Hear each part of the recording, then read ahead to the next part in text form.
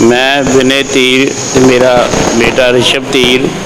ਅਸੀਂ Rishabh trader railway road Nakodar ਵੱਲੋਂ ਦੀਵਾਲੀ ਦੀਆਂ ਬਹੁਤ ਬਹੁਤ ਵਧਾਈਆਂ ਤੇ ਵਿਸ਼ਕਰਮਾ ਡੇ ਦੀਆਂ ਬਹੁਤ ਬਹੁਤ ਵਧਾਈਆਂ ਦਿੰਦਾ ਸਾਰੇ ਸ਼ਹਿਰ ਨਿਵਾਸੀਆਂ ਨੂੰ ਅਸੀਂ ਵਧਾਈਆਂ ਦੇ ਰਹੇ ਹਾਂ ਕਿ ਸਾਡੀ ਸ਼ਾਪ ਆ ਜਿਹੜੀ ਰਿਸ਼ਭ ਟ੍ਰੇਡਰ, ਉਹਦੇ ਉੱਤੇ ਆਨਲਾਈਨ ਸ਼ਾਪਿੰਗ ਚੱਲਦੀ ਹੈ ਜੀ।